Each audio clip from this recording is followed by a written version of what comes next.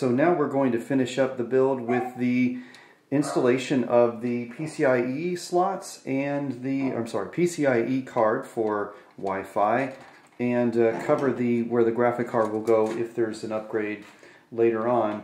We went ahead and plugged in uh, the, uh, finished up the power. I did some very minimum cable management to get things out of the way so that it's a little cleaner. And uh, that's about it. I just did that off camera just to save a little bit of time and, and uh, you know, show the less, it's not exactly the most interesting things in the world.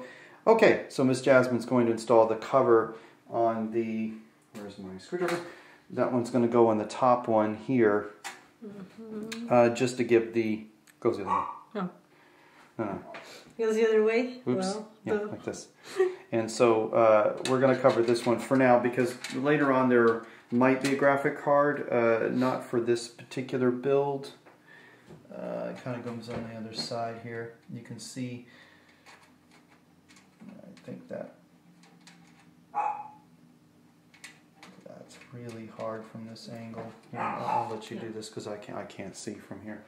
I know it's hard to see, but uh, not that interesting. And then the final part will be, we will go ahead and add the uh, little bit of probably a twisty tire or two on the other side for the serial ATA cables that are going through. And then I think this build is pretty much done. Is it going in? Mm-hmm. Okay, perfect. I'll just poke myself. Okay. Will it work? and there's the uh, Wi-Fi.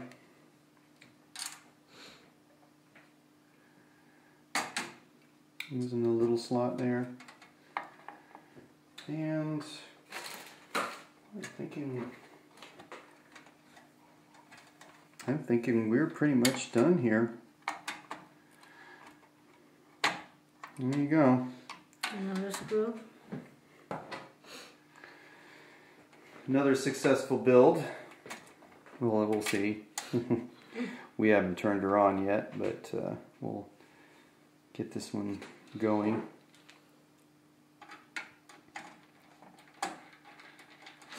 This case has been significantly better than the other cases that we've dealt with. So many, many props to uh, Thermaltake. Go ahead and put that guy on there. That's, that's pretty much it. Put that guy on there. All right, let's uh, rock and roll. Let's rock and roll is right. Let's go ahead and take a look at the other side. Okay, so might want to maybe cable manage a little bit of this. Let's see, I need to find, let's see, one of these twisty ties.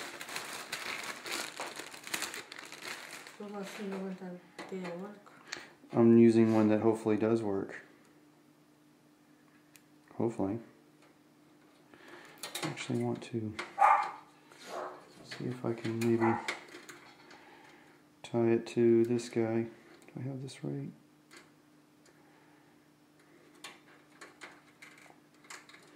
Doo-ba-doo.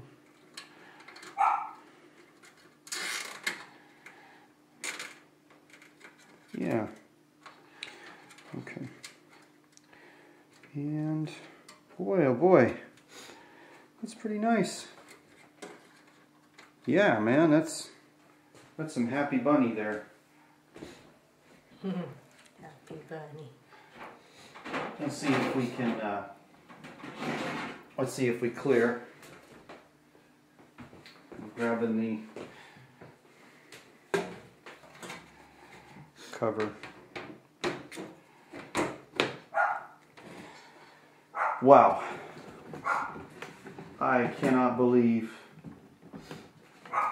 how much easier this has been than the other case. Yeah, this is significantly better. Forgive the Maggie. It's my dog. Not like that's my dog, Joe, but that is my girl. All right.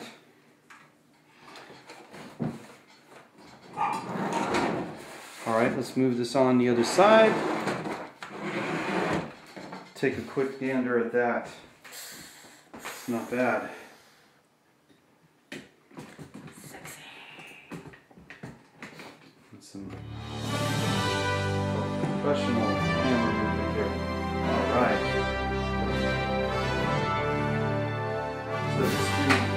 Just, to, recap. We have an H270 motherboard gigabyte. It has pretty much chipset. We use three serial ATA for the solid state, half a terabyte crucial serial ATA solid state drive, a terabyte 7200 RPM Western Digital drive for backup purposes. We have a Blu-ray burner. It's a uh, multi multi disc LG. And it's the what they call the M disc technology for durability and all sorts of other stuff. We used an i3 7100 Kaby Lake. It's a with an Noctua cooler and of course a T-Link Wi-Fi EVGA 430 watt power supply and this is a Thermaltake I don't have the exact model on in mind but a Thermalake case really nice build let's go ahead and close it up walk in front of the camera like a fool let's close it up and we're going to give this baby a try. If I could actually do this properly. There we go. All right. This case actually had some additional uh, cooling options. I believe you could put a radiator on the top here. This particular build certainly doesn't need liquid cooling. And um, but we gave quite a bit of headroom. This case does have some additional niceties here where you can plug in USB. And there you go. I'm to go ahead and put on the Wi-Fi, put on our Wi-Fi connections here and that pretty much will give us the entirety of the build. All right. All right, so when we come back, we're going to go ahead and try this machine and uh, we'll proceed with the install of the software. This machine is going to be installing Ubuntu 1704 it's going to be the Unity edition for now until they change it over. And uh, I'll have some further discussions around Ubuntu and some vlogs. But we're going to go ahead and do that and uh, wrap this machine up. So,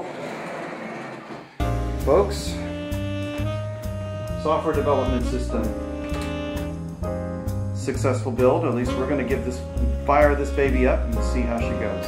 All right. So till then, folks, till then, later.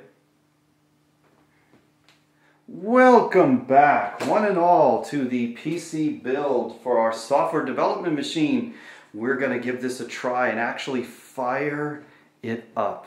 Okay, here we go. Moment of truth. Everything's plugged in. And... Does it work? It's making noises. It's making noises. Oh, look at that. Welcome back. So, we had a little bit of a discussion with uh, Jasmine and I about the machine that we were just built and uh, decided that Ubuntu 1704 may not be the best operating system, or at least the best environment, like Unity, for instance, may not be the best environment for the person that we're building this for, considering the person that we're actually building this for is a Mac OS user. And therefore, it makes a lot of sense that maybe we go with something a little bit different. She's a designer, so she knows UX. And so we went through and looked at all sorts of different operating systems that we could use. So I uh, went through uh, each one of them with her so she's able to see which one to kind of think about which one's the best one. We looked at Unity, we looked at Ubuntu Budgie, we looked at Cinnamon, uh, Xfce, uh, LDXC, and uh, which were definitely not going to work. Uh, we looked also at Mate. let's see, we went through the gambit, pretty much everything. Kubuntu with KDE and uh, just about every one that I could find. GNOME, of course, and um, pretty much through every single case, it determined that it was probably not going to be the best environment until we came across, and she was a big, strong proponent of elementary. Now, going through elementary and considering some of the ways that it would be used and considering some of the applications that are going to get used on this, this actually turned out to be probably the best choice. So, from her recommendation to go ahead and go with uh, elementary, that's exactly what we're going to do. So starting with this video, we're going to go ahead and install elementary OS.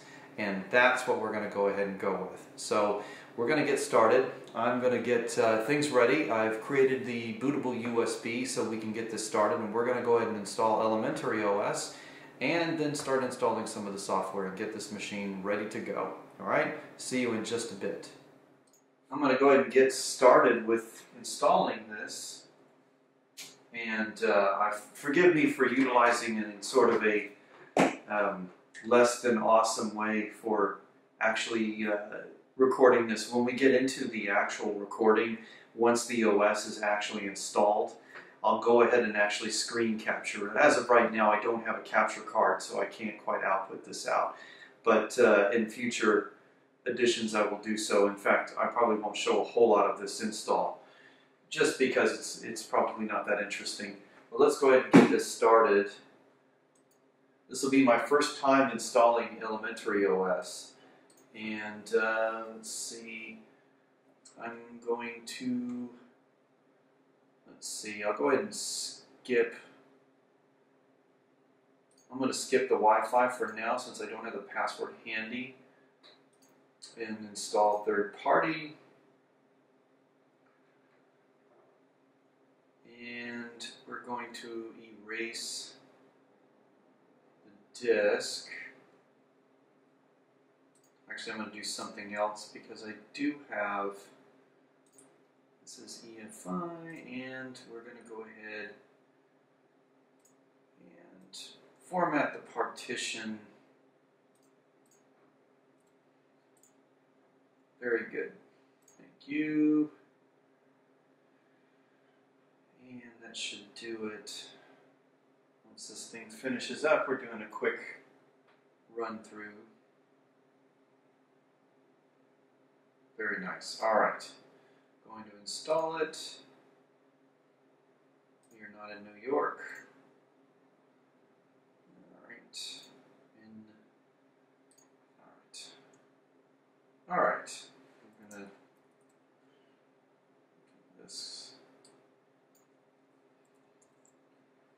All right. Put something in for now. All right, so this is going to go ahead and install. There's not much to see at this point.